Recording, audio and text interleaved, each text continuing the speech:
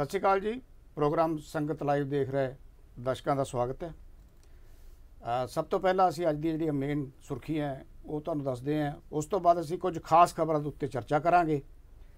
ਔਰ ਮੈਂ ਹਾਂ ਮਦਨਦੀਪ ਤੇ ਮੇਰੇ ਨਾਲ ਨੇ ਮੇਰੇ ਸੀਨੀਅਰ ਸਹਿਯੋਗੀ ਬਲਵਿੰਦਰ ਜੰਮੂ। ਸਭ ਤੋਂ ਪਹਿਲਾਂ ਮੈਂ ਜੰਮੂ ਸਾਹਿਬ ਤੁਹਾਡਾ ਸਵਾਗਤ ਕਰਦਾ ਹਾਂ ਜੀ। ਅੱਜ ਦੀਆਂ ਸੁਰਖੀਆਂ 'ਚ ਪੰਜਾਬ ਵਿਧਾਨ ਸਭਾ ਦਾ ਬਜਟ ਸੈਸ਼ਨ ਜਾਰੀ ਹੈ। ਔਰ ਇਸ ਦੌਰਾਨ ਪਹਿਲੇ ਦਿਨ ਜਦੋਂ ਰਾਜਪਾਲ ਭਾਸ਼ਣ ਦਿੰਦਾ ਆ ਕੇ, ਰਾਜਪਾਲ ਦੇ ਭਾਸ਼ਣ ਨੂੰ ਆਮ ਤੌਰ ਤੇ ਸਵਾਗਤ ਵਜੋਂ ਸੁਣਿਆ ਜਾਂਦਾ ਹੈ। ਪਰ ਕਈ ਵਾਰ ਮਾਮਲੇ ਇਸ ਤਰ੍ਹਾਂ ਦੇ ਹੁੰਦੇ ਆ ਕਿ ਰਾਜਪਾਲ ਦਾ ਸਵਾਗਤ ਨਹੀਂ ਹੁੰਦਾ। ਪਰ ਇਸ ਵਾਰ ਜਿਹੜਾ ਰਾਜਪਾਲ ਦਾ ਸਵਾਗਤ ਨਹੀਂ ਹੋਇਆ, ਉਹਦੇ ਪਿੱਛੇ ਕੀ ਕਾਰਨ ਹੈਗੇ ਆ, ਇਹ ਕਾਰਨ ਜਾਣਨ ਦੀ ਕੋਸ਼ਿਸ਼ ਕਰਾਂਗੇ। ਔਰ ਅਗਲੀ ਜਿਹੜੀ ਖਬਰ ਹੋਏਗੀ, ਜਿਹਦੇ ਤੇ ਅਸੀਂ ਝਾਤ ਮਾਰਾਂਗੇ, ਉਹ ਹੈ ਕਿ ਸ਼ਰਾਬ ਮਾਫੀਆ ਦੇ ਖਾਤਮੇ ਲਈ ਜਿਹੜਾ ਆਬਕਾਰੀ ਕਾਨੂੰਨ 'ਚ ਜਿਹੜੀ ਸੋਧ ਕਰਕੇ ਦੁਬਾਰਾ ਕਾਨੂੰਨ ਜਿਹੜਾ ਪੇਸ਼ ਕੀਤਾ ਜਾਣਾ ਵਿਧਾਨ ਸਭਾ ਦੇ ਵਿੱਚ, ਇਹ ਕਾਫੀ ਹੈ। ਇਹਦੇ ਨਾਲ ਖਾਤਮਾ ਹੋ ਜਾਏਗਾ ਸ਼ਰਾਬ ਮਾਫੀਆ ਦਾ।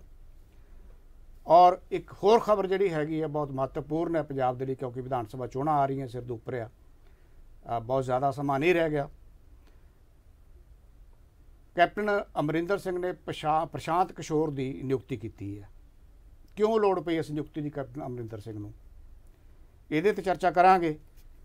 ਔਰ ਜਿਹੜੀ ਅਖੀਰਲੀ ਖਬਰ ਹੈ, ਉਹ ਇਹ ਹੈ ਕਿ ਸੁਮੇਧ ਸੈਣੀ ਤੇ ਉਮਰਾ ਨੰਗਲ ਨੂੰ ਹਾਈ ਕੋਰਟ ਨੇ ਰਾਹਤ ਦਿੱਤੀ ਹੈ ਅਗਾਊਂ ਜ਼ਮਾਨ ਦਿੱਤੀ ਹੈ। ਇਹਦਾ ਬੇਅਦਬੀ ਕਾਂਡ ਦੇ ਉੱਤੇ ਕੀ ਅਸਰ ਹੋਏਗਾ? ਸੋ ਸਭ ਤੋਂ ਪਹਿਲੀ ਜਿਹੜੀ ਖਬਰ ਹੈ, ਉਹ ਇਹ ਹੈ ਕਿ ਪੰਜਾਬ ਵਿਧਾਨ ਸਭਾ ਦੇ ਵਿੱਚ ਜਿਹੜਾ ਬਜਟ ਪੇਸ਼ ਕੀਤਾ ਜਾਣਾ ਹੈ, ਪੰਜਾਬ ਸਰਕਾਰ ਵੱਲੋਂ, ਇਹ ਆਖਰੀ ਬਜਟ ਹੈ। ਇਸ ਬਜਟ ਤੋਂ ਕੀ ਉਮੀਦਾਂ ਨੇ ਲੋਕਾਂ ਨੂੰ? ਜਾਂ ਇਸ ਬਜਟ ਦੇ ਵਿੱਚ ਜਿਹੜੀ ਰਾਸ਼ੀ ਸਰਕਾਰ ਨੇ ਰੱਖਣੀ ਹੈ, ਕੁਝ ਅਸੀਂ ਸੁਣ ਰਹੇ ਹਾਂ ਕਿ ਪੰਜਾਬ ਸਰਕਾਰ ਇਸ ਵਾਰ, ਕਿਉਂਕਿ ਜਦੋਂ ਕੈਪਟਨ ਅਮਰਿੰਦਰ ਸਿੰਘ ਦੀ ਅਗਵਾਈ ਵਿੱਚ ਪੰਜਾਬ ਵਿਧਾਨ ਸਭਾ ਚੋਣਾਂ ਦੇ ਵਿੱਚ ਪ੍ਰਚਾਰ ਕੀਤਾ ਗਿਆ ਸੀ ਮੈਨੀਫੈਸਟੋ ਬਣਾਇਆ ਗਿਆ ਸੀ ਕਾਂਗਰ- ਕਾਂਗਰਸ ਵੱਲੋਂ, ਤਾਂ ਉਹਦੇ ਇੱਕ ਵਾਅਦਾ ਕੀਤਾ ਗਿਆ ਸੀ ਕਿਸਾਨਾਂ ਦੇ ਨਾਲ ਨਾਲ ਖੇਤ ਮਜ਼ਦੂਰਾਂ ਦੇ ਕਰਜ਼ੇ ਨੂੰ ਮਾਫ ਕਰਨਾ। ਇਸ ਵਾਰ ਉਮੀਦ ਕੀਤੀ ਜਾ ਰਹੀ ਹੈ ਕਿ ਸ਼ਾਇਦ 500 ਕਰੋੜ ਰੁਪਇਆ ਘੱਟੋ ਘੱਟ ਜਿਹੜਾ ਹੈਗਾ ਉਹਦੇ ਵਿੱਚੋਂ ਸਰਕਾਰ ਮੁਆਫ ਕਰਨ ਦਾ ਐਲਾਨ ਕਰ ਸਕਦੀ ਹੈ। ਇਹ ਪੈਸਾ ਕਿੱਥੋਂ ਆਏਗਾ? ਸਰਕਾਰ ਦੇ ਕੀ ਰਿਸੋਰਸ ਨੇ? ਪੰਜਾਬ ਦੇ ਵਿੱਚ ਜੇ ਬਜਟ ਬਣਾਉਣ ਲਈ ਆਖਰ ਕਿਤੋਂ ਪੈਸਾ ਚਾਹੀਦਾ ਹੁੰਦਾ ਹੈ? ਕਿ ਪੰਜਾਬ ਸਰਕਾਰ ਦੇ ਕੋਲ ਉਹ ਰਿਸੋਰਸ ਹੈ ਜਿਹਦੇ ਨਾਲ ਇਹ ਬਜਟ ਮਜ਼ਬੂਤ ਬਜਟ ਅਸੀਂ ਦੇਖਦੇ ਹਾਂ ਮਜ਼ਬੂਤ ਬਜਟ ਆਏਗਾ? ਕਿਉਂਕਿ ਪਿਛਲੀ ਵਾਰ ਲਗਭਗ ਜਿਹੜਾ ਹੈਗਾ ਸੀ ਉਹ 1 ਲੱਖ ਅ, 50000 ਕਰੋੜ ਦਾ 40000 ਕਰੋੜ ਰੁਪਏ ਦੇ ਕਰੀਬ ਸੀ। ਇਸ ਵਾਰ ਉਮੀਦ ਕੀਤੀ ਜਾ ਰਹੀ ਹੈ ਕਿ ਬਜਟ ਵੱਧ ਕੇ 1 ਲੱਖ 60000 ਕਰੋੜ ਦੇ ਕਰੀਬ ਹੋ ਜਾਏਗਾ। ਇਹ ਪੈਸਾ ਕਿੱਥੋਂ ਆਏਗਾ?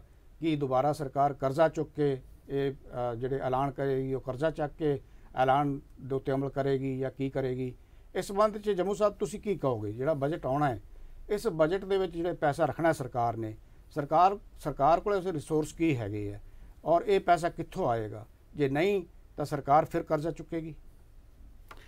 ਦੇਖੋ, ਰਣਜੀਤ ਜੀ, ਬਜਟ ਜਿਹੜਾ ਉਹ 5 ਮਾਰਚ ਨੂੰ ਪੇਸ਼ ਕੀਤਾ ਜਾਣਾ। ਬਜਟ ਦੇ ਵਿੱਚ ਕੀ ਤਰਜੀਹਾਂ ਹੋਣਗੀਆਂ? ਪਿਛਲੀ ਵਾਰੀ ਕੀ ਤਰਜੀਹਾਂ ਸੀ? ਜਾਂ ਜਿਹੜਾ ਮੈਨੀਫੈਸਟੋ ਕਾਂਗਰਸ ਪਾਰਟੀ ਨੇ ਪਿਛਲੀਆਂ ਵਿਧਾਨ ਸਭਾ ਚੋਣਾਂ ਸਮੇਂ ਪੇਸ਼ ਕੀਤਾ ਸੀ ਉਹਦੇ ਵਿੱਚ ਕੀਤੇ ਗਏ ਵਾਅਦੇ ਪੂਰੇ ਕਰ ਲਏ ਗਏ ਜਾਂ ਨਹੀਂ ਕੀਤੇ ਗਏ? ਇਹ ਸਵਾਲ ਅਹਿਮ ਨੇ।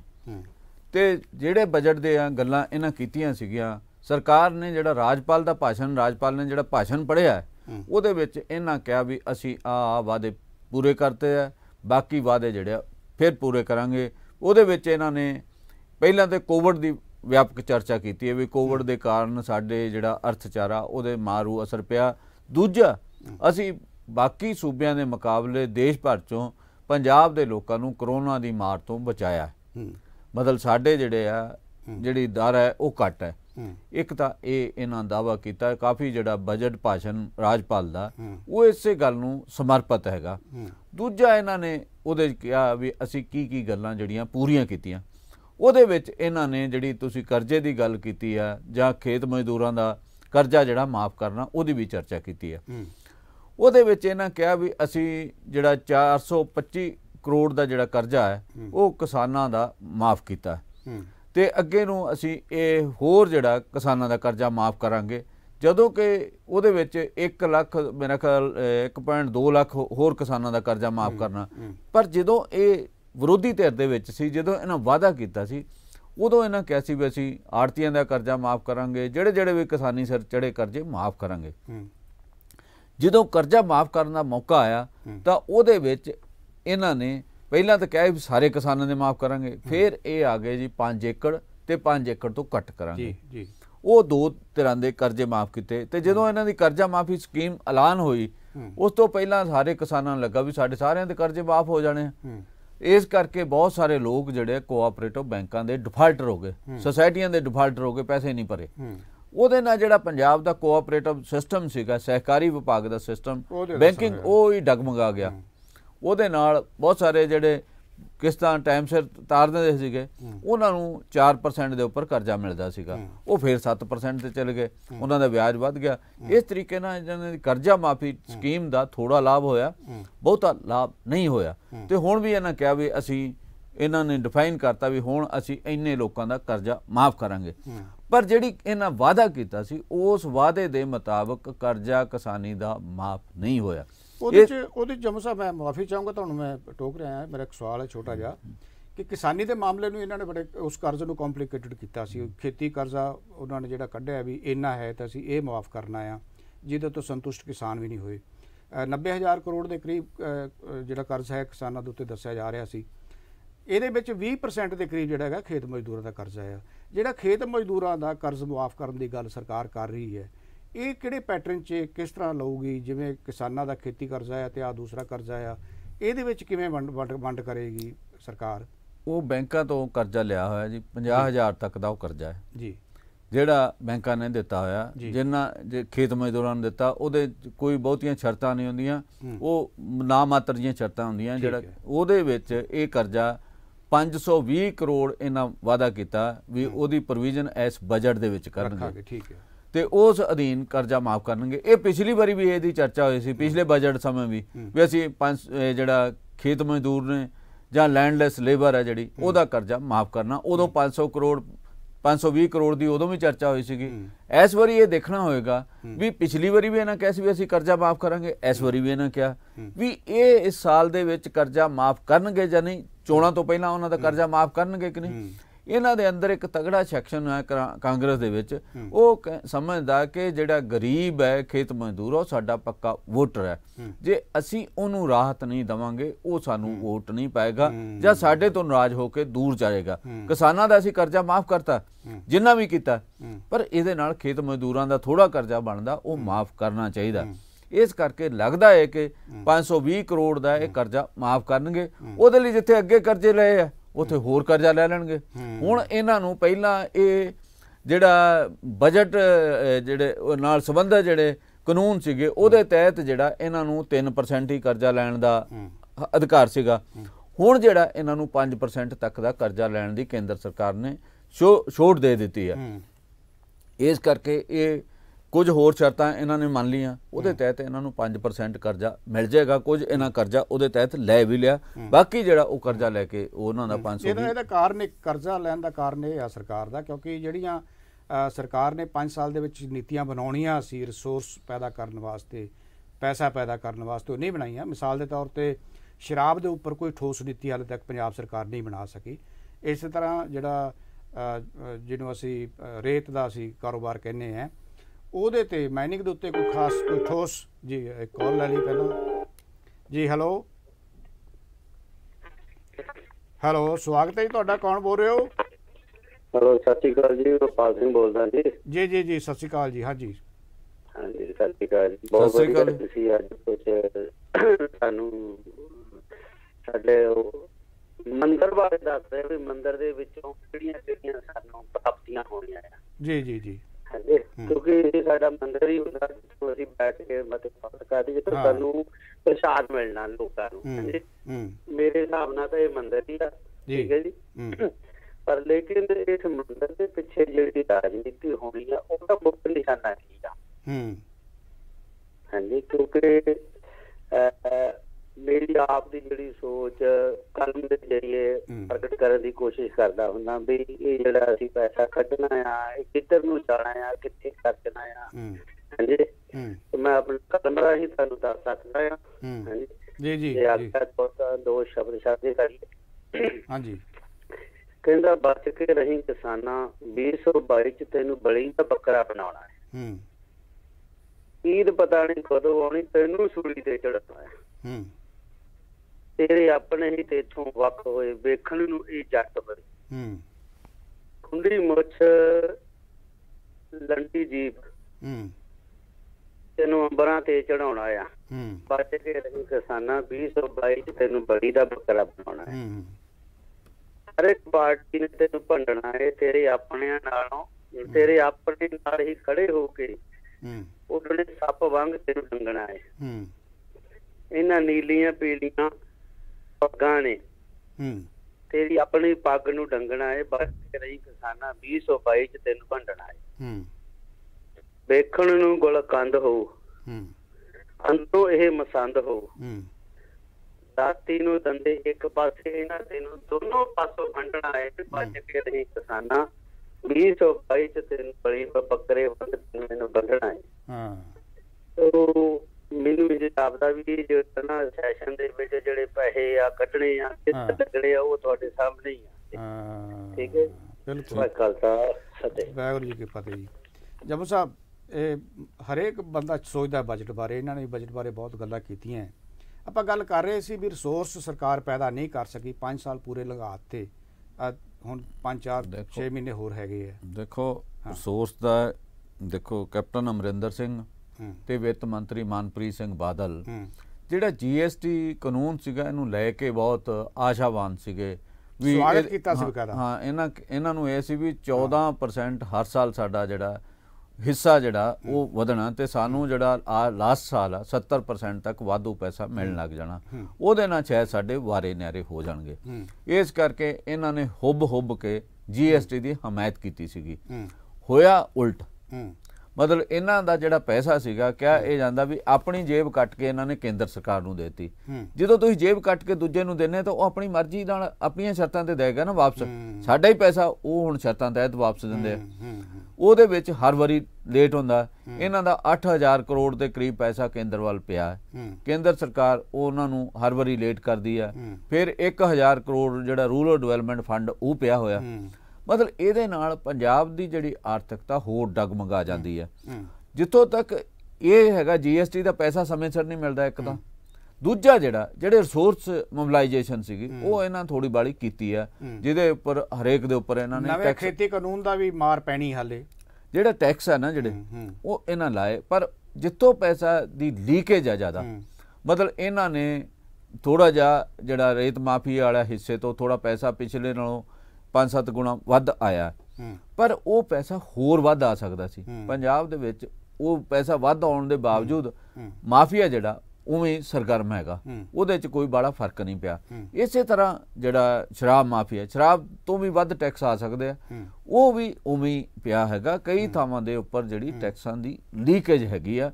ਜਿਹਦੇ ਕਰਕੇ ਜੋ ਨਤੀਜੇ ਨਿਕਲਣੇ ਚਾਹੀਦੇ ਜੋ ਇਹਨਾਂ ਵਾਅਦੇ ਕੀਤੇ ਸੀਗੇ ਉਹ ਪੂਰੇ ਨਹੀਂ ਕੀਤੇ ਜਾ ਸਕੇ। ਭਾਵੇਂ ਕਿ ਕਹਿੰਦੇ ਵੀ ਅਸੀਂ ਘਰ ਘਰ ਰੁਜ਼ਗਾਰ ਦੇਤਾ। ਭਾਵੇਂ ਕਈ ਤਰ੍ਹਾਂ ਦੇ ਇਹਨਾਂ ਵਾਅਦੇ ਕੀਤੇ ਵੀ ਦਾਅਵੇ ਕੀਤੇ ਤੇ ਰਾਜਪਾਲ ਦੇ ਭਾਸ਼ਣ ਦੇ ਵਿੱਚ ਵੀ ਅਸੀਂ ਆਹ ਕੁਝ ਕਰ ਦਿੱਤਾ। ਹੁਣ ਜਿਹੜਾ ਇਹ ਫੇਰ ਵਾਅਦੇ ਕਰਨਗੇ ਸਾਰੀਆਂ ਧਿਰਾਂ ਕਰਨਗੇ ਸੁਖਬੀਰ ਬਾਦਲ ਉਹਨਾਂ ਨੇ ਕੱਲ ਰੈਲੀ ਕੀਤੀ ਹੈ ਉਹਨਾਂ ਕਿਹਾ ਪੰਜਾਬ ਜਵਾਬ ਮੰਗਦਾ ਹੈ। ਉਹਨਾਂ ਸਾਰੀਆਂ ਗੱਲਾਂ ਘਰ ਘਰ ਰੋਜ਼ਗਾਰ ਭ੍ਰਿਸ਼ਟਾਚਾਰ ਨੌਕਰੀਆਂ। ਮਤਲਬ ਮਾਫੀਏ ਇਹ ਸਾਰਾ ਕੁਝ ਗਣਾਤਾ। ਨਸ਼ੇ ਦੇ ਮਾਮਲੇ ਵੀ ਗਣਾਤੇ ਵੀ ਨਸ਼ਾ ਵੀ ਉਵੇਂ ਚੱਲਦਾ। ਉਹਨਾਂ ਨੇ ਕਿਹਾ ਵੀ ਅਸੀਂ ਜਵਾਬ ਮੰਗਦੇ ਹਾਂ ਜਾਂ ਪੰਜਾਬ ਦੇ ਲੋਕ ਜਵਾਬ ਮੰਗਦੇ ਜਵਾਬ ਤਾਂ ਉਹਨਾਂ ਤੋਂ ਵੀ ਲੋਕ ਮੰਗਦੇ ਵੀ ਉਹਨਾਂ ਦੀ 10 ਸਾਲ ਸਰਕਾਰ ਰਹੀ ਸੀ। 10 ਸਾਲ ਦੀ ਸਰਕਾਰ ਦੇ ਵਿੱਚ ਜੋ ਬੇਨਿਯਮੀਆਂ ਹੋਈਆਂ ਜੋ ਲੁਟਾਈ ਪੰਜਾਬ ਦੀ ਹੋਈ ਉਹਦੇ- ਤਹਿਤ ਹੀ। ਕੈਪਟਨ ਨੇ ਬਿਹਤਰ ਪ੍ਰਸ਼ਾਸਨ ਪਰ ਦੇਣ ਦਾ ਉਹਨਾਂ ਨੂੰ ਲੋਕਾਂ ਨੇ ਸਜ਼ਾ ਦੇ ਦਿੱਤੀ ਉਹਨਾਂ ਨੂੰ ਲਾਂਭੇ ਕਰਤਾ ਸੱਤਾ ਤੋਂ। ਉਹਨਾਂ ਨੂੰ ਸਜ਼ਾ ਦੇਤੀ। ਹਾਂ। ਪਰ ਉਹਨਾਂ ਨੂੰ ਸਜ਼ਾ ਦਿੱਤੀ ਅਜੇ ਵੀ ਉਹਨਾਂ ਦੀ ਸਜ਼ਾ ਜਿਹੜੀ ਪੂਰੀ ਨਹੀਂ ਹੋਈ। ਇੱਕ ਜਿਹੜਾ ਦੇਖੋ ਸਾਨੂੰ ਜਦੋਂ ਅਸੀਂ ਅਕਾਲੀ ਦਲ ਦੀ ਗੱਲ ਕਰਦੇ ਹਾਂ ਅਕਾਲੀ ਦਲ ਦੀ ਗੱਲ ਕਰਦੇ ਹਾਂ ਉਹਨਾਂ ਦੇ ਦੋ ਚੀਜ਼ਾਂ ਨੇ। ਇੱਕ ਉਹ ਧਰਮ ਦੇ ਖੇ ਧਰਮ ਦੇ ਖੇਤਰ ਦੇ ਵਿੱਚ ਹੈ। ਧਰਮ ਦੇ ਖੇਤਰ ਦੇ ਵਿੱਚ ਅਜੇ ਤੱਕ ਜਿਹੜੀ ਬੇਅਦਬੀ ਦਾ ਮਾਮਲਾ। ਜਿਹੜੀ ਬਾਈਬਲ ਕਲਾਂ ਦੇ ਵਿੱਚ ਦੋ ਨੌਜਵਾਨ ਸ਼ਹੀਦ ਹੋਏ ਉਹਨਾਂ ਦਾ ਮਾਮਲਾ ਹੈਗਾ ਉਹਨਾਂ ਦੇ ਮਾਮਲੇ ਚੱਲ- ਅੱਗੇ ਜਾ ਕੇ ਨਹੀਂ- ਕਰਨਾ ਨਹੀਂ। ਚੱਲ ਰਿਹਾ। ਉਹਦੇ ਵਿੱਚ ਅਜੇ ਵੀ ਉਹਨਾਂ ਦੇ ਪ੍ਰਤੀ ਜਿਹੜਾ ਬੇਰੁਖੀ ਹੈ। ਜਿਹੜੇ ਖੇਤੀ ਕਾਨੂੰਨ ਨੇ ਜਦੋਂ ਆਰਡੀਨੈਂਸ ਜਾਰੀ ਹੋਏ ਸੀਗੇ ਉਦੋਂ ਅਕਾਲੀ ਦਲ ਨੇ ਕਾਫੀ ਸਮਾਂ ਹਮਾਇਤ ਕੀਤਾ ਸੀ। ਤੇ ਉਦੋਂ ਅਸਤੀਫਾ ਦਿੱਤਾ ਹਰਸਿਮਰਤ ਬਾਦਲ ਨੇ ਜਦੋਂ ਉਹਨਾਂ ਦੇ। ਜਦੋਂ ਪਿੰਡ ਦੀ ਉਹਨਾਂ ਨੇ ਰੋਕਤਾ ਵੀ ਵੜੋ ਬਾਦਲ ਪਿੰਡ। ਉਹ ਤੋਂ ਬਾਅਦ। ਹੁਣ ਉਹ ਇਸ ਮਾਮਲੇ ਤੇ ਜ਼ਿਆਦਾ ਅੱਗੇ ਤਿੱਖਾ ਹੋਣਾ ਚਾਹੁੰਦੇ ਆ। ਜ਼ਿਆਦਾ ਮਤਲਬ ਇਸ ਮਾਮਲੇ ਨੂੰ ਵੀ ਖੇਤੀ ਕਾਨੂੰਨ ਬੜੇ ਮਾੜੇ ਨੇ। ਮਤਲਬ ਜਦੋਂ ਇਹ ਆਏ ਸੀ ਮਾੜੇ ਤਾਂ ਉਦੋਂ ਵੀ ਸੀਗੇ। ਮਤਲਬ ਇਸ ਕਰਕੇ ਅਜੇ ਕਿਸਾਨੀ ਦੇ ਵਿੱਚ ਉਹਨਾਂ ਨੇ ਆਪਣੀ ਜਿਹੜੀ ਆ ਉਹ ਗੱਲ ਸਾਬਤ ਕਰਨੀ ਹੈ ਵੀ ਉਹ ਸੱਚੇ ਦਿਲੋਂ ਹੀ ਜਿਹੜੇ ਸੰਘੀ ਢਾਂਚੇ ਦੇ ਹਮਲੇ ਹੋਏ ਸੀਗੇ ਉਹਨਾਂ ਨੂੰ ਰੋਕਣ ਦੇ ਵਿੱਚ ਜਿਹੜੀ ਨਾਕਾਮੀ ਆ ਉਹ ਉਹਦੇ ਬਾਰੇ ਉਹਨਾਂ ਨੇ ਅਜੇ ਆਪਣਾ ਸੱਚ ਤੱਤ ਜਿਹੜੇ ਆ ਪੇਸ਼ ਕਰਨੇ ਆ। ਉਹ ਹੁਣ ਇਸ ਗੱਲ ਦੇ ਵਿੱਚ ਲੱਗੇ ਆ ਦੂਜਿਆਂ ਨੂੰ ਅੱਗੇ ਨੂੰ ਵੱਧ ਜਾ ਰਹੇ ਆ ਵੀ ਅਸੀਂ ਜਿਹੜਾ ਮਤਲਬ ਕਿਸਾਨਾਂ ਦੇ ਹੱਕ ਦੇ ਵਿੱਚ ਆ ਇਹ ਮਾਮਲਾ ਹੈਗਾ ਆਪਣੀ ਥਾਂ ਦੇ ਉੱਪਰ। ਜਦੋਂ ਅਸੀਂ ਚੋਣਾਂ ਦੀ ਗੱਲ ਕਰਾਂਗੇ ਉਹਦਾ ਮਾਮਲਾ ਆਏਗਾ ਤੇ ਉਹਦੇ ਵਿੱਚ ਕੌਣ ਕੀ ਧਿਰ ਕਿੱਥੇ ਰਹੇਗੀ ਇਹ ਮਾਮਲਾ ਆਪਣੀ ਥਾਂ ਤੇ ਹੈਗਾ। ਇਸ ਕਰਕੇ ਜਿਹੜਾ ਪ੍ਰਸ਼ਾਂਤ ਕਿਸ਼ੋਰ ਦੀ ਅੱਗੇ ਨਿਯੁਕਤੀ ਦਾ ਮਾਮਲਾ ਆਏਗਾ ਜਾਂ ਹੋਰ ਮਾਮਲੇ ਆਉਣਗੇ ਇਸ ਕਰਕੇ ਜਦ ਕੱਲ ਰਾਜਪਾਲ ਦਾ ਭਾਸ਼ਣ ਸੀਗਾ। ਉਹਨੇ ਉਹਨੇ ਇਹਦੇ ਵਿੱਚ ਸਾਰੇ ਯਤਨ ਕੀਤੇ ਵੀ ਕੀ ਕੀ ਸਰਕਾਰ ਨੇ ਕੀਤਾ। ਪਰ ਇਹਦੇ ਚ ਰਾਜਪਾਲ ਦਾ ਇੰਨਾ ਵਿਰੋਧ ਹੋਇਆ ਔਰ ਉਹਨਾਂ ਨੂੰ ਕਿਹਾ ਗੋ ਬੈਕ ਦੇ ਨਾਰੇ ਲਾਏ ਇਸ ਤਰ੍ਹਾਂ ਸਵਾਗਤ ਨਹੀਂ ਹੋਇਆ। ਇਹਦੇ ਪਿੱਛੇ ਕਾਰਨ ਅਸਲ ਕਾਰਨ ਕੀ ਹੈ? ਕਿਉਂਕਿ ਹੁਣ ਚੋਣਾਂ ਦੇ ਵਿੱਚ 1 ਸਾਲ ਤੋਂ ਵੀ ਘੱਟ ਸਮਾਂ ਰਹਿ ਗਿਆ। ਜੀ। 10 ਮਹੀਨੇ ਹਾਰਡਲੀ ਪਿਛਲੀ ਵਾਰੀ ਫਰਵਰੀ ਚੋਣਾਂ ਹੋਈਆਂ ਸੀ ਫਰਵਰੀ ਲੰਘ ਗਈ। ਜੀ।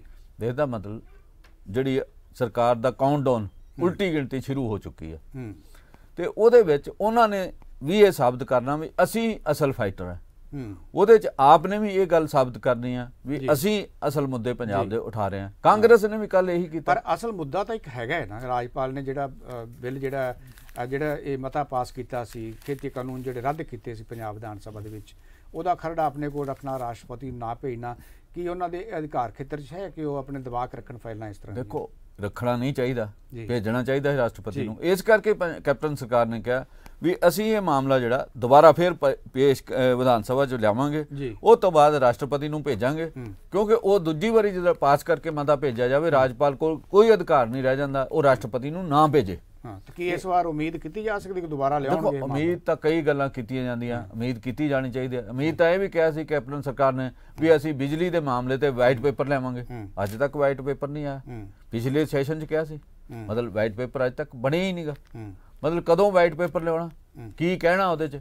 ਇਹ ਗੱਲਾਂ ਤਾਂ ਸਾਰੇ ਵੇਟ ਕਰ ਰਹੇ ਨਾ। ਬਿਜਲੀ ਪੰਜਾਬ ਦੇ ਵਿੱਚ ਬਹੁਤ ਮਹਿੰਗੀ ਆ। ਜਮਨ ਸਾਹਿਬ ਤੁਹਾਨੂੰ ਬਹੁਤ ਵੱਡਾ ਐਕਸਪੀਰੀਅੰਸ ਹੈ ਇਸ ਮਾਮਲੇ ਵਿੱਚ ਜੇ ਅਸੀਂ ਵਿਧਾਨ ਸਭਾ ਦੀ ਗੱਲ ਕਰਦੇ ਹਾਂ ਤਾਂ। ਜਦੋਂ ਅਕਤੂਬਰ ਵਿੱਚ ਜਾ ਕੇ ਅਕਤੂਬਰ ਜਾਂ ਨਵੰਬਰ 'ਚ ਮੈਨੂੰ ਲੱਗਦਾ ਹੈ ਕਿ ਅਗਲੀਆਂ ਚੋਣਾਂ ਬਾਰੇ ਐਲਾਨ ਹੋ ਜਾਏਗਾ, ਤਰੀਕਾਂ ਤੈਅ ਹੋ ਜਾਣਗੀਆਂ।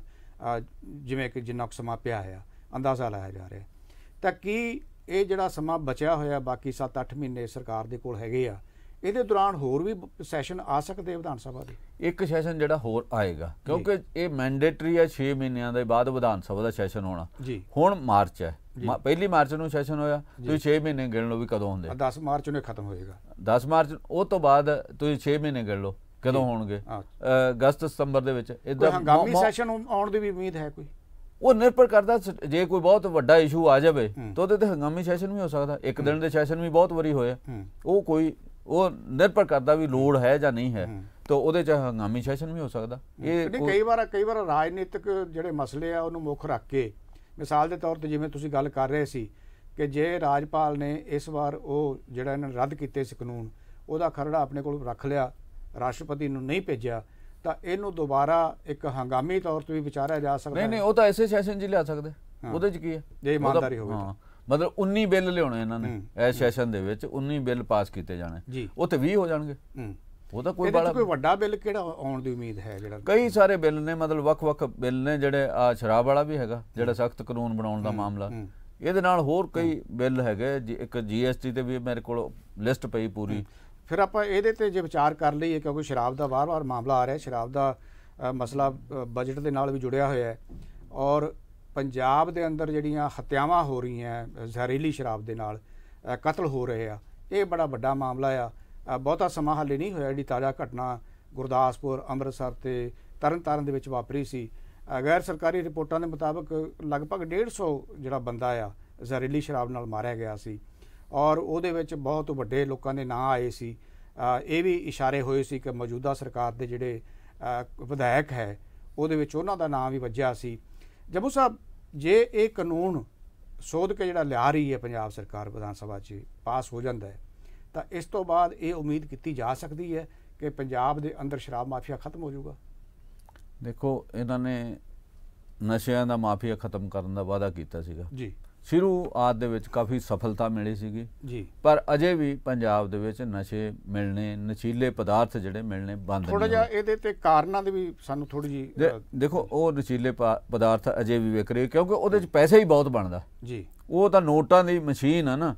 ਪੰਜ- ਪੰਜਾਬ ਦੀ ਜਵਾਨੀ ਪੰਜਾਬ ਦੇ ਲੋਕ ਢੱਠੇ ਖੂਜ ਪੈਣ। ਕਿਹਨੂੰ ਬਣਦਾ ਪੈਸਾ ਜੀ? ਇਹ ਜਿਹੜੀਆਂ ਧਿਰਾਂ ਮਤਲਬ ਰਾਜ ਕਰਦੀਆਂ। ਬਿਊਰੋਕ੍ਰੇਸੀ ਪੁਲਿਸ ਪੋਲੀਟੀਸ਼ੀਅਨ ਇਹ ਤਿੰਨਾਂ ਦਾ ਹੀ ਕਿਤੇ ਨਾ ਕਿਤੇ ਨੈਕਸਸ ਹੈ ਤਾਂ ਹੀ ਵਿਕ ਰਿਹਾ ਨਾ। ਇੱਕ ਇਲਾਕੇ ਦੇ ਵਿੱਚ ਕੀ ਕੁਝ ਹੁੰਦਾ ਕੀ ਗੋਰਖ ਧੰਦਾ ਹੁੰਦਾ ਜਿਹੜਾ ਐਸਐਚਓ ਲਾਇਆ ਜਾਂਦਾ। ਸਾਰੀ ਜਾਣਕਾਰੀ ਉਹਦੇ ਕੋਲ ਹੁੰਦੀ ਹੈ ਕਿਹਾ ਜਾਂਦਾ। ਉਹ ਉਸ ਇਲਾਕੇ ਦੀ ਮਾਂ ਉਹਨੂੰ ਕਿਹਾ ਜਾਂਦਾ ਵੀ ਉਹਨੂੰ ਸਾਰਿਆ ਪਤਾ ਵੀ ਇੱਥੇ ਕੀ ਕੀ ਹੈਗਾ। ਉਹ ਜਦੋਂ ਵਿਧਾਇਕ ਆਪਣੀ ਮਰਜ਼ੀ ਨਾਲ ਲਵਾਉਂਦੇ ਕੋਈ ਐਸਐਚਓ ਜੀ। ਤਾਂ ਕੁਦਰਤੀ ਕੋਈ ਨਾ ਕੋਈ ਤਾਂ ਸਾਂਝ ਹੋਏਗੀ ਨਾ ਕੋਈ ਨਾ ਕੋਈ ਕੜੀ ਜੁੜਦੀ ਹੋਏਗੀ। ਇਸ ਕਰਕੇ ਇਹ ਨਸ਼ਿਆਂ ਦਾ ਬਹੁਤ ਵੱਡਾ ਗੋਰਖ ਧੰਦਾ ਹੈਗਾ। ਤੇ ਉਵੇਂ ਸ਼ਰਾਬ ਦਾ। ਸ਼ਰਾਬ ਜਿਹੜੀ ਆ ਸਾਡੇ ਜਿੱਥੇ ਕਿਸਾਨੀ ਹੈਗੀ ਆ। ਦੁਨੀਆ ਦੇ ਕਿਸੇ ਖੇਤਰ ਦੇ ਵਿੱਚ ਵੀ ਉੱਥੇ ਸ਼ਰਾਬ ਜਿਹੜੀ ਆ ਉਹ ਪੀਤੀ ਜਾਂਦੀ ਆ। ਸ਼ਰਾਬ ਪਿਛਲੇ ਸਮੇਂ 'ਚ ਬਹੁਤ ਮਹਿੰਗੀ ਹੋ ਗਈ ਆ। ਮਹਿੰਗੀ ਹੋਣ ਕਰਕੇ ਉਹਦੀ ਅਫੋਰਡੇਬਿਲਟੀ ਉਹ ਲੋਕਾਂ ਕੋਲ ਨਹੀਂ ਰਹੀ। ਇਸ ਕਰਕੇ ਜਿਹੜੀ ਦੂਜੀ ਸ਼ਰਾਬ ਹੈ ਘਰਾਂ ਦੀ ਬਣੀ ਸ਼ਰਾਬ ਹੈ ਜਾਂ ਅਲਕੋਹਲ ਜਿਹੜੀ ਹੈ ਜਿਹੜੀ ਮਤਲਬ ਇੱਕ ਵੱਖਰੀ ਕਿਸਮ ਦੀ ਅਲਕੋਹਲ ਹੈ। ਜੇ ਜ਼ਿਆਦਾ ਸਟਰੋਂਗ ਮਿਲ ਜਾਏ ਤਾਂ ਉਹ ਵੈਸੇ ਹੀ ਬੰਦੇ ਨੂੰ ਸਾੜ ਦਿੰਦੀ ਹੈ। ਉਹ ਕਈ ਤਰੀਕਿਆਂ ਦੀ ਅਲਕੋਹਲ ਜਿਹੜੀ ਆ ਉਹ ਪੀਤੀ ਜਾਂਦੀ ਹੈ ਜਿਹਦਾ ਪੈਗ ਮੇਰਾ ਖਿਆਲ ਆ 20 ਰੁਪਏ ਚ ਮਿਲਦਾ। ਤੇ ਬਾਰਡਰ ਦੇ ਵਿੱਚ ਤਾਂ ਅਕਸਰ ਮਿਲਦਾ ਨਾ। ਇਸ ਕਰਕੇ ਜਿਹੜੀ ਆਦਤ ਹੈ ਲੋਕਾਂ ਦੀ ਇੱਕ ਮਤਲਬ ਵੀ ਜਿਹੜੀ ਇਹ ਸਸਤੀ ਸ਼ਰਾਬ ਜੇ ਨਹੀਂ ਮਿਲਦੀ ਤਾਂ ਉਹ ਇਸ ਕਿਸਮ ਦੀ ਮਾੜੀ ਸ਼ਰਾਬ। ਪੀਣਗੇ। ਇਹ ਨੂੰ ਹਟਾਉਣਾ ਇਹਨੂੰ ਰੋਕਣਾ ਇਹ ਬਹੁਤ ਵੱਡਾ ਮਤਲਬ ਇਹਦੇ ਤੇ ਜ਼ੋਰ ਲਾਉਣ ਦੀ ਲੋੜ ਹੈ ਇਹ ਸ਼ਰਾਬ ਦੀ ਜਿਹੜੀ ਆਦਤ ਹੈ ਸ਼ਰਾਬ ਦੀ ਜਿਹੜੀ ਲੱਤ ਹੈ ਇਹ ਬੜੀ ਪੁਰਾਣੀ ਹੈਗੀ। ਇਹਨੂੰ ਕਹਿਣ ਵੀ ਇੱਕ ਸਖਤ ਕਾਨੂੰਨ ਬਣਾ ਕੇ ਖਤਮ ਕਰ ਦਿੱਤਾ ਜਾਊਗਾ ਮੇਰਾ ਖਿਆਲ ਐਵੇਂ ਨਹੀਂ ਵਾਪਰਨ ਲੱਗ ਜਾਣ ਮਤਲਬ ਤੁਸੀਂ ਆ ਜਿਹੜਾ ਪਿਛਲੇ ਸਮੇਂ ਦੇ ਵਿੱਚ ਲੋਕ ਮਰੇ ਜ਼ਹਿਰੀਲੀ ਸ਼ਰਾਬ ਪੀ ਕੇ। ਉਹ ਕਿਤੇ ਨਾ ਕਿਤੇ ਉਹਦੇ ਚ ਕੋਈ ਨਾ ਕੋਈ ਜ਼ਹਿਰੀਲਾ ਤੱਤ ਜਿਹੜਾ। ਉਹਦੀ ਮਾਤਰਾ ਵੱਧ ਗਈ ਇਸ ਕਰਕੇ ਉਹਨਾਂ ਦੀ ਮੌਤ ਹੋ ਗਈ। ਪੰਜਾਬ 'ਚ ਵੀ ਹੋਇਆ ਉਸ ਤੋਂ ਬਾਅਦ ਹਰਿਆਣੇ 'ਚ ਵੀ ਹੋਇਆ ਮਤਲਬ ਜਦੋਂ ਪੰਜਾਬ ਦੇ ਵਿੱਚ ਤੇ ਹਰਿਆਣੇ ਦੇ ਵਿੱਚ ਜੀ। ਜਦੋਂ ਇਹ ਕਰੋਨਾ ਕਾਲ ਸੀਗਾ ਇਹਨਾਂ ਸਾਰੇ ਠੇਕੇ ਖਾਲੀ ਹੋ ਗਏ। ਸ਼ਰਾਬ ਦੇ ਜਿਹੜੇ ਠੇਕੇ ਸੀ ਉਹ ਸ਼ਰਾਬ ਪੰਜਾਬ ਦੇ ਵਿੱਚ ਧੜੱਲੇ ਨਾ ਵਿਕੀ ਹਰਿਆਣੇ ਦੇ ਵਿੱਚ ਵੀ ਵਿਕੀ। ਫਿਰ ਇਹਨਾਂ ਜਾਂਚ ਦਾ ਬਣਾਇਆ। ਉਹ ਜਾਂਚ ਦੇ ਵਿੱਚ ਬੜਾ ਕੁਝ ਮੇਰਾ ਨਹੀਂ ਖਿਆਲ ਸਾਹਮਣੇ ਆਇਆ। ਸੋ ਇਹਨਾਂ ਦੇ ਐਮਐਲਏ ਦਾ ਵੀ ਨਾਮ ਆਉਂਦਾ ਪੰਜਾਬ ਦੇ ਵਿੱਚ ਵੀ। ਹਰਿਆਣੇ ਦੇ ਵਿੱਚ ਵੀ ਕੁਦਰਤੀ ਇੱਕ ਸਾਬਕਾ ਐਮਐਲਏ ਫੜਿਆ ਵੀ ਗਿਆ ਸੀਗਾ। ਪਰ ਇਹਦੇ ਨਾਲ ਸਾਰਾ ਜੋ ਤੱਥ ਹੈ ਜੋ ਸਚਾਈ ਉਹ ਸਾਹਮਣੇ ਨਹੀਂ ਆਈ। ਇਸ ਕਰਕੇ ਕੇਵਲ ਸਖਤ ਕਾਨੂੰਨਾਂ ਨਾਲ ਮਾਮਲੇ ਹੱਲ ਨਹੀਂ ਹੁੰਦੇ। ਕਾਨੂੰਨ ਤਾਂ ਪਹਿਲਾਂ ਵੀ ਹੈਗੇ। ਮਤਲਬ ਸਜ਼ਾਵਾਂ ਦੇਣ ਦੇ ਹੁਣ ਇਹਨਾਂ ਨੇ ਉਮਰ ਕੈਦ ਜਾਂ ਮੌਤ ਦੀ ਸਜ਼ਾ ਕਰਤੀ ਹੈ। ਮਤਲਬ ਇਹ ਮੈਨੂੰ ਲੱਗਦਾ ਵੀ ਮੌਤ ਦੀ ਸਜ਼ਾ ਬਹੁਤ ਹਾਰਿਸ਼ ਹੈ। ਮੌਤ ਦੀ ਸਜ਼ਾ ਨਹੀਂ ਹੋਣੀ ਚਾਹੀਦੀ। ਬੰਦੇ ਨੂੰ ਮਤਲਬ ਜਿਹੜਾ ਸਾਡੇ ਕੁਝ ਦੇਸ਼ਾਂ ਦੇ ਵਿੱਚ ਮੌਤ ਦੀ ਸਜ਼ਾ ਦਾ ਹੱਕ ਹੈਗਾ। ਨਹੀਂ ਤਾਂ ਇਹਦੇ ਖਿਲਾਫ ਬਹੁਤ ਆਵਾਜ਼ ਉੱਠਦੀ ਰਹੀ ਆ। ਜਿਹੜੇ ਮਨੁੱਖੀ ਅਧਿਕਾਰਾਂ ਦੇ ਜਥੇਬੰਦੀਆਂ ਨੇ, ਉਹ ਇਹਦੇ ਖਿਲਾਫ ਆਵਾਜ਼ ਉਠਾਉਂਦੀਆਂ ਰਹੀਆਂ ਵੀ ਮੌਤ ਦੀ ਸਜ਼ਾ ਨਹੀਂ ਹੋਣੀ ਚਾਹੀਦੀ। ਮਤਲਬ ਹੋਰ ਹੀਨੀਅਸ ਕ੍ਰਾਈਮ ਹੈਗੇ ਜਿਹਦੇ ਮੌਤ ਦੀ ਸਜ਼ਾ ਹੋਣੀ, ਹੁੰਦੀ ਹੈ। ਪਰ ਇਹਦੇ ਚ ਮੈਂ ਲੱਗਦਾ ਹੈ ਵੀ ਸ਼ਰਾਬ ਦੇ ਮਾਮਲੇ ਦੇ ਵਿੱਚ ਠੀਕ ਹੈ, ਇਹਦੇ ਵਿੱਚ ਸਖਤੀ ਹੋਣੀ ਚਾਹੀਦੀ ਵੀ ਜਿਹੜੇ ਇਹ ਸ਼ਰਾਬ ਵੇਚਦੇ ਇਹ ਸ਼ਰਾਬ ਵਿਕਦੀ ਕਿਹਦੇ ਉਹਦੇ ਨਾਲ ਬਦੌਲਤ ਹੈ। ਇਹ ਇਹਦਾ ਰੂਟ ਕਾਜ ਜਿੰਨਾ ਚਿਰ ਲੱਭ ਕੇ ਕਹਿਣ ਦਾ ਭਾਵ ਹੈ ਕਿ ਸ਼ਰਾਬ ਨੂੰ ਅਫੋਰਡੇਬਲ ਵੀ ਬਣਾਉਣਾ ਚਾਹੀਦਾ ਹੈ ਕਿਉਂਕਿ। ਸ਼ਰਾਬ ਦੇ ਸਿਰਫ ਇਹਦੇ ਚ ਇੱਕ ਜੰਮੂ ਸਾਹਿਬ ਹੋਰ ਵੀ ਇੱਕ ਸਵਾਲ ਆਉਂਦਾ ਹੈ। ਜਿਵੇਂ ਤੁਸੀਂ ਪਹਿਲਾਂ ਵੀ ਜ਼ਿਕਰ ਕੀਤਾ ਸੀ ਬਜਟ ਤੇ ਅਸੀਂ ਗੱਲ ਕਰ ਰਹੇ ਸੀ। ਉਹਦੇ ਸ਼ਰਾਬ ਦਾ ਕਿਉਂਕਿ ਬਹੁਤ ਸਾਰਾ ਜਿਹੜਾ ਪੈਸਾ ਬਜਟ ਦੇ ਵਿੱਚ ਆਉਂਦਾ ਆ ਬੜੀ ਵੱਡੀ ਕਮਾਈ ਹੈ ਸਰਕਾਰਾਂ ਨੂੰ ਸ਼ਰਾਬ ਤੋਂ। ਇਹ ਇਹ ਕੀ ਕਾਨੂੰਨ ਜਿਹੜਾ ਹੈਗਾ ਸਿਰਫ ਮਾਫੀਆ ਨੂੰ ਇਸ ਕਰਕੇ ਰੋਕਣ ਲਈ ਬਣਾਇਆ ਜਾ ਰਿਹਾ ਤਾਂ ਕਿ ਇਹਨਾਂ ਦੀ ਕਮਾਈ ਦੇ ਵਿੱਚ ਘਾਟਾ ਨਾ ਪਵੇ ਕਿ ਲੋਕਾਂ ਦੀ ਜਾਨਾਂ ਦਾ ਚਿੰਤਾ ਹੈ ਸਰਕਾਰਾਂ ਨੂੰ ਇਸ ਕਰਕੇ ਬਣ ਰਹੀ ਹੈ। ਦੇਖੋ ਸਾਨੂੰ ਮਾਫੀਆ ਦੀ ਹਿਸਟਰੀ 'ਚ ਜਾਣਾ ਚਾਹੀਦਾ। ਵੀ ਮਾਫੀਆ ਕਦੋਂ ਬਣਿਆ? ਜੀ। ਸਭ ਤੋਂ ਪਹਿਲਾਂ ਦੁਨੀਆ ਦੇ ਵਿੱਚ ਸ਼ਰਾਬ ਮਾਫੀਆ ਅਮਰੀਕਾ 'ਚ ਬਣਿਆ ਸੀਗਾ। ਉਹਨਾਂ ਨੇ ਸ਼ਰਾਬਬੰਦੀ ਕਰਤੀ। ਜੀ। ਜਿਵੇਂ ਸਾਡੇ ਹਰਿਆਣਾ ਦੇ ਵਿੱਚ ਚੌਧਰੀ ਬੰਸੀ ਲਾਲ ਦੀ ਸਰਕਾਰ ਨੇ ਜੀ, ਕਰਤੀ ਸੀ। ਜੀ। ਤੇ ਹਰਿਆਣਾ ਦੇ ਵਿੱਚ ਗੈਰ ਕਾਨੂੰਨੀ ਢੰਗਾਂ ਨਾਲ ਵੱਡੇ ਪੱਧਰ ਤੇ ਸ਼ਰਾਬ ਵਿਕਦੀ ਸੀਗੀ। ਜੀ। ਹੁਣ ਵੀ ਸਾਡੇ ਦੇਸ਼ ਦੇ ਵਿੱਚ ਦੋ ਤਿੰਨ ਸੂਬਿਆਂ ਦੇ ਵਿੱਚ ਸ਼ਰਾਬਬੰਦੀ ਜੀ, ਹੈਗੀ। ਜੀ। ਉਹਨਾਂ ਦੇ ਵਿੱਚ ਜਿਹੜਾ ਜਿੱਥੋਂ ਪ੍ਰਧਾਨ ਮੰਤਰੀ ਆਉਂਦੇ ਗੁਜਰਾਤ ਦੇ ਵਿੱਚ ਸ਼ਰਾਬਬੰਦੀ ਹੈਗੀ। ਉਸ ਤੋਂ ਬਾਅਦ ਜਿਹੜਾ ਬਿਹਾਰ ਆ ਉਹਦੇ 'ਚ ਵੀ ਸ਼ਰਾਬਬੰਦੀ ਹੋ ਗਈ। ਤੇ ਗੁਜਰਾਤ ਦੇ ਵਿੱਚ ਇਹ ਕਿਹਾ ਜਾਂਦਾ ਵੀ ਜਿਹੜਾ ਬੰਦੇ ਹੋਟਲਾਂ 'ਚ ਠਹਿਰਦੇ ਕਿਤੇ ਠਹਿਰਨ ਉਹਨਾਂ ਸ਼ਰਾਬ ਦੀ ਮੰਗ ਕਰਨ ਤਾਂ ਉਹਨਾਂ ਨੂੰ ਮਿਲ ਜਾਂਦੀ ਹੈ। ਆਵੇ ਕਾਰੋਬਾਰ ਹੋਟਲ ਦਾ ਵੀ ਬੰਦ ਨਹੀਂ ਨਾ ਕਰਨਾ। ਸੋ ਜਮੋ ਸਾਹਿਬ ਬ੍ਰੇਕ ਦਾ ਵੇਲਾ ਹੋ ਰਿਹਾ। ਬ੍ਰੇਕ ਤੋਂ ਜਦੋਂ ਅਸੀਂ ਵਾਪਸ ਆਵਾਂਗੇ ਤਾਂ ਅਸੀਂ ਹੋਰ ਗੱਲ ਕਰਾਂਗੇ। ਪਰ ਮੈਂ ਛੋਟੀ ਜੀ ਗੱਲ ਕਰਨੀ ਚਾਹੁੰਦਾ ਜਦੋਂ ਵੀ ਅਸੀਂ ਸ਼ਰਾਬ ਮਾਫੀਆ ਦੀ ਗੱਲ ਕਰਦੇ ਤਾਂ ਸਾਨੂੰ ਯਾਦ ਆ ਜਾਂਦਾ ਹੈ ਜਿਹੜਾ ਅਬੋਹਰ ਦੇ ਵਿੱਚ ਭੀਮ ਕਤਲकांड ਹੋਇਆ ਸੀ ਜਿਹਦੇ ਚ ਡੋਡ ਜਿਹੜਾ ਹੈਗਾ ਉਹ ਵੀ ਇੱਕ ਬਹੁਤ ਵੱਡਾ ਲੀਡਰ ਸੀ। ਉਹ ਉਹਦਾ ਸਰਗਨਾ ਸੀ ਜਿਨ੍ਹਾਂ ਨੇ ਮਾਰਿਆ ਔਰ ਆਪ ਉਹਦੇ ਵਿੱਚ ਸ਼ਾਮਲ ਆਪ ਦੀ ਉਹਦੀ ਨਜ਼ਰਸਾਨੀ ਹੇਠ ਉਹ ਬੰਦਾ ਜਿਹੜਾ ਮੁੰਡਾ ਮਾਰਿਆ ਗਿਆ ਸੀ। ਸੋ ਮਾਫੀਆ ਦੀ ਬਹੁਤ ਵੱਡੀ ਦਹਿਸ਼ਤ ਹੈ ਪੰਜਾਬ ਦੇ ਅੰਦਰ। ਬਾਕੀ ਇਹ ਦੇਖਾਂਗੇ ਉਹ ਨਵਾਂ ਕਾਨੂੰਨ ਕਿੰਨਾ ਕੁ ਜਿਹੜਾ ਹੈਗਾ ਇਹਦੇ ਤੇ ਜ਼ਾਬਤਾ ਕਾਇਮ ਕਰ ਸਕਦਾ ਹੈ।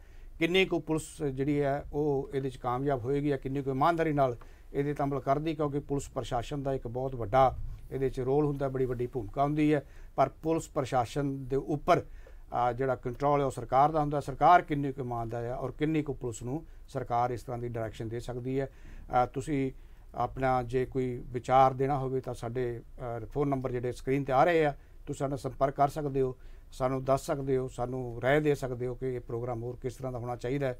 ਤੁਸੀਂ ਬਣੇ ਰਹੋ। ਬ੍ਰੇਕ ਤੋਂ ਬਾਅਦ ਅਸੀਂ ਤੁਰੰਤ ਹਾਜ਼ਰ ਹੁੰਦੇ ਹਾਂ।